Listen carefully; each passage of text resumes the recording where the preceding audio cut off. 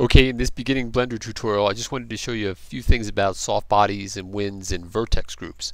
So vertex groups are one of the most powerful things in Blender for controlling soft bodies or other types of objects and particles, things of that nature. So a lot of times, like maybe on like the plant video that I posted the other day on how to build the fractal type plant, sometimes in there what I've done in advance, when I make it want to blow in the wind, is I'll go over here into the vertex group like this and I can either do one of two things. I can either let's say go into here press control R maybe subdivide this like this and then I might come in and pick out a face and assign it a value in here. I pick up a vertex group, I give it a weight, you know, I don't know, say say 0.5 like that and I assign it in here and then I might do the same thing through here. In fact that's the old way I did it. Back in 2.37 when I did a tornado animation I had to manually set all my vertex groups like that. It was quite the painstaking process. But now with array modifiers and weight paint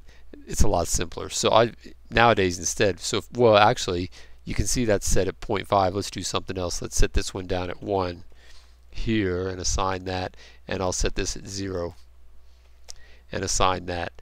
I should actually be going the other direction, but you'll see what I mean.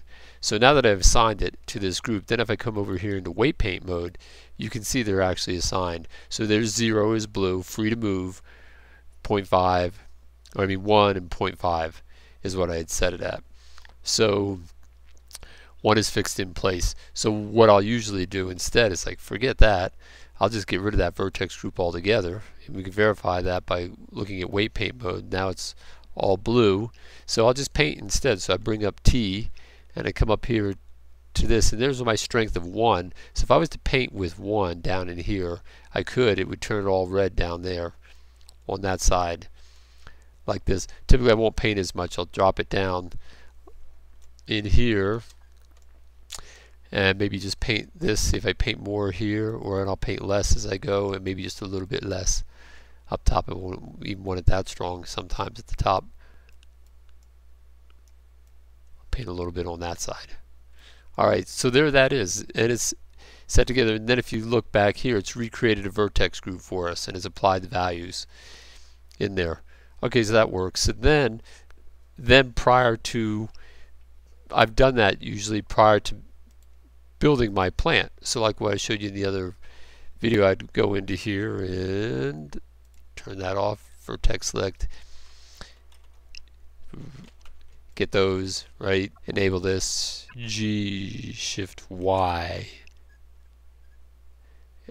and change it up something. So there's the, there's the basis of my plant. But now it's got the vertex group set in advance before I actually build it.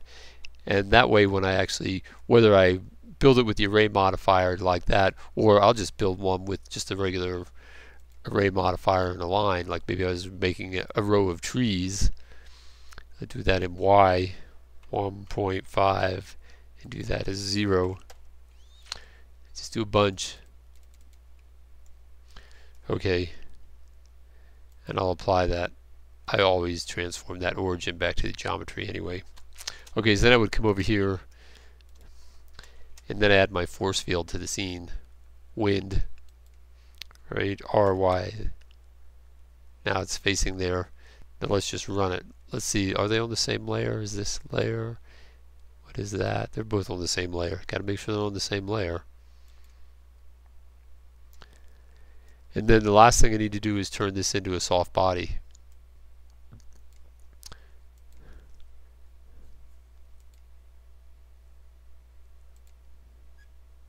cache. No, I don't need the cache.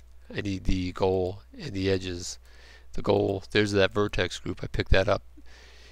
And there they go. You see it's pinned down there automatically because I painted that in that one level there. So in that case, it's easier just to, if you want a little wind, you just add a little bit of noise to make it a little noisy. But this really requires, if you want to make things blow in the wind, then you just have to vary this strength in here oh I'll just do it here I'll just I'll start back here at zero and say maybe strength is you know zero and I'll press I and give it that and then maybe up at 20 it goes up to 10 and I'll press I and do that. I'll just do something very simple, then I'll turn it back to zero. And do that. Then I have to get the graph editor. And there's my curve that I just built like that, and I want to extrapolate that key, just extrapolate that cyclic. Okay, so I don't need my graph editor anymore. Now the wind is varying in speed.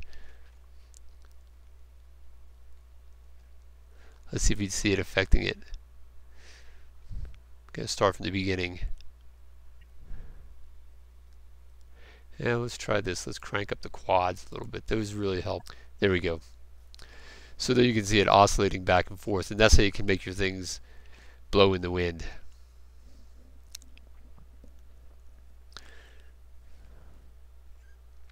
right? So it's a lot of trial and error sometimes. The graph editor really helps, but it actually doesn't take that long. And then you can make some pretty convincing effects in the scene. And you can see it's working pretty quickly, right? Well, of course, that's one single object here, so that really helps too. So, all right, well, that's it for now. I'll see you in the next lesson.